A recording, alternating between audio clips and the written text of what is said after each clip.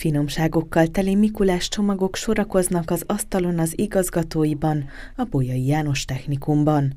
Alig fértek el a dobozok és a csomagok az asztalon, amiket a bolyais diákok állítottak össze. Már egy két hete legalább gyűjtjük az édességeket a rászorulóknak, és minden osztálynak, minden osztálynak kellett hoznia ugye édességeket, csokit, cukrot, vagy amit csak tudott, ugye, hogy segítsen a rászorulóknak ezzel. A Bolyai Iskola már évek óta együttműködik a Példa Egyesülettel iskolánk diák önkormányzata vetette fel annak idején az ötletet, hogy kellene rászoruló gyerekeknek ajándékokat gyűjteni Mikulás környékén, hiszen fontosnak tartjuk azt is, hogy ne csak szakmai tantárgyakra tanítsuk meg a diákjainkat, hanem arra is, hogy bizony jó jónak lenni és jó jót tenni. A diákok rendszeresen részt vesznek a Példaegyesület programjain, sokan a közösségi munkát is náluk végzik.